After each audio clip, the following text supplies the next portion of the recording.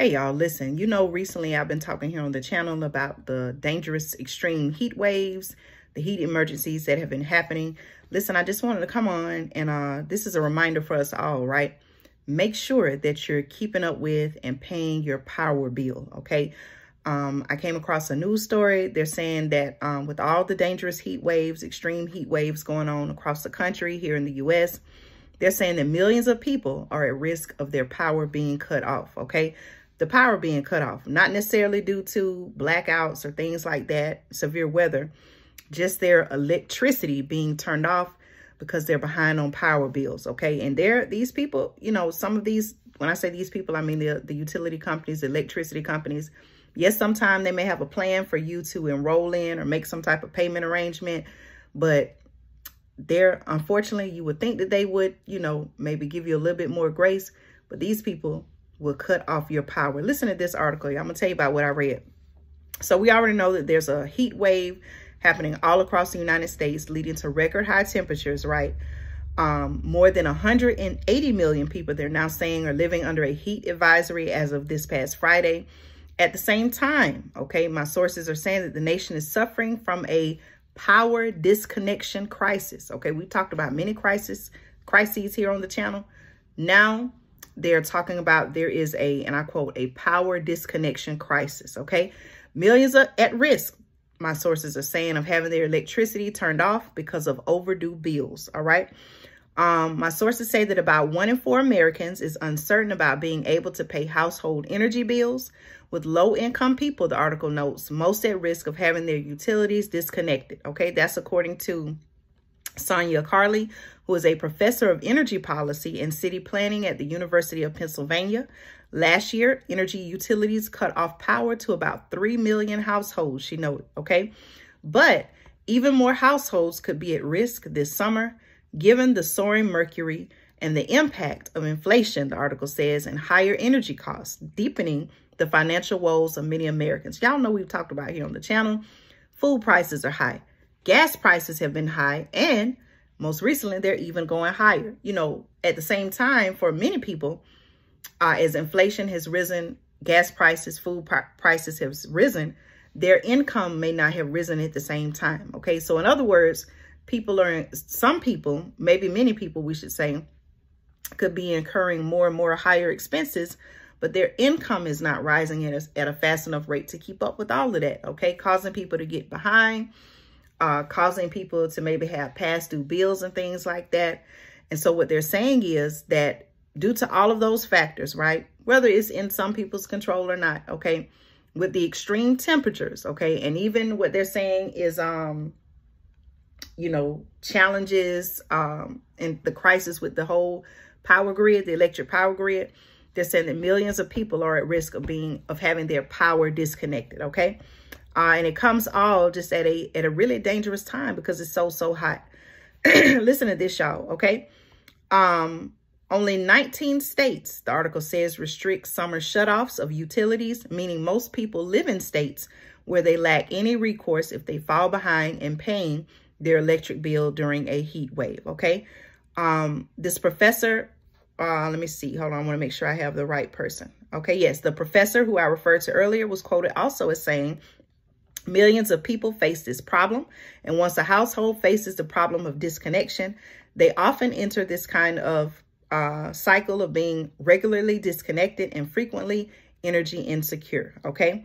Losing electricity places people at, and I quote, immense risk because they can't run fans or air conditioning to regulate their body temperature, she said. In some cases, the loss of power can be deadly, okay? And I, we've certainly seen that um, I, I, showed you all, or I talked about a few examples where they were talking about in different parts of the country, people have succumbed to this record-breaking extreme heat, okay? Um, the article also says that many Americans rely on different strategies to keep their electric bills low, but that can also heighten the risk, okay? For, uh, for instance, the article says 27% of low to moderate income people say they take on debt in order to pay their utility while another 26% set their temperatures at risky levels to keep their bills down, okay? Um, listen to this one, y'all. In the most dire case, the article says an electricity cutoff during the summer can be deadly, but that can be hard to track because a person's Um, loss of life might be listed as heart failure, even though the fatality likely wouldn't have occurred if the power had remained on. Okay, that's that's really something to think about, y'all. Um, here's uh, one story they gave an example of. One case that drew attention in recent years is that of Stephanie Pullman, who was a 72-year-old whose electricity was shut off in 2018 when outside temperatures in her retirement community near Phoenix, okay? Phoenix is one of those cities now that have been in the news for just record-shattering high temperatures, right? So there was this, uh, there's this lady, um, Stephanie Pullman, a 72-year-old whose electricity was shut off in 2018 when outside temperatures in her retirement community near Phoenix reached 170 degrees Fahrenheit. She had paid $125 towards a past due bill of $176, but her power was cut off. Listen to this, y'all, because she didn't pay in full. That's what a $51 difference, right? So just because she had, now I don't know the full extent of her situation, right? Whether she had had a past record of maybe not paying. I, I don't know any of that, right? I'm just reporting on what this article is saying. But for whatever reason, okay, although she had paid $125 towards a $176 bill, do the math, she had a what, $51 balance due, right? Her power was still cut off because she didn't pay in full, okay? Um, and it looks like, unfortunately, as I'm reading the article, she lost her life, okay? They found her during a wellness check and the medical examiner attributed her death to, and I quote, environmental heat exposure, okay? Very tragic, tragic situation. Um, last year, uh, the article says Arizona prohibited utilities from disconnecting customers during periods of extreme weather, such as days over 95 degrees. But most states, uh, my sources say, lack any protections against power cuts including states where summer temperatures are normally high and are getting hotter due to climate change. Oh, here we go, y'all. Such as in the article list, Alabama, Florida, North and South Carolina. Okay, they didn't uh, even say Georgia, so I am not too sure about that. Okay. Um, one source also said the federal, and I quote, the federal government should absolutely have this on their radar. And I think they can do it in multiple ways. Okay. One, uh, one, the article says or the uh, person says is an emergency moratorium for disconnections. The federal government can say across all utilities, nobody is allowed to disconnect where we know that most of the population is under a heat advisory, okay? Do you agree or disagree with that thought? Let me know. Um, people at risk, uh, here's some, okay, so here's some solutions. Here are some solutions where to get help. Listen to this, y'all. Um, people at risk of having their electricity cut off or shut off should contact their utilities to ask about payment plans or other aid.